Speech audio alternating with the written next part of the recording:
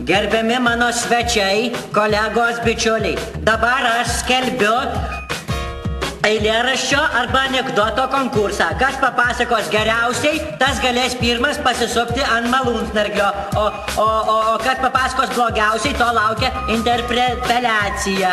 O tai ta interpeliacija, kas tai? Nu tai interpeliacija, tai kai mano tėtukas sako, kad Valinskui dabar jau bus interpeliacija ir jam jau bus švamstėts. Tai va, kas papasakos iš jūsų blogai, tam irgi bus švamstėts. Tai gerai, tada aš pirmą. Pradėk arbūzai. Nu, Petriuko klausia. Petriukai, ar tu gerai matai per naujus sakinius? Jisai sako, taip, mamytė.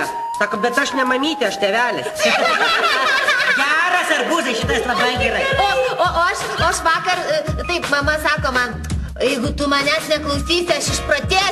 O aš sakau, mama, bet žinok, jeigu aš tavęs klausysiu, tai tada aš išprotėsiu.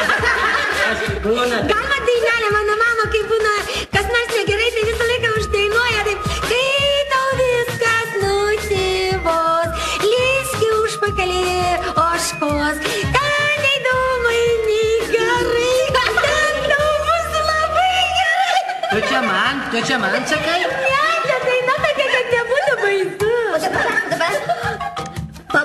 tu man į rūrą, tau sukils temperatūra.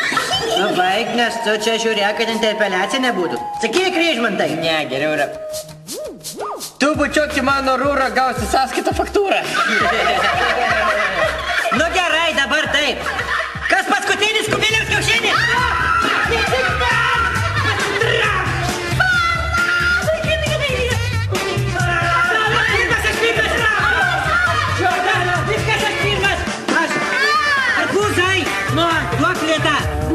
Aš neturiu lieto. Nu tai aš gal per savo gimtadienį nesisupčiau už tavo pinigus.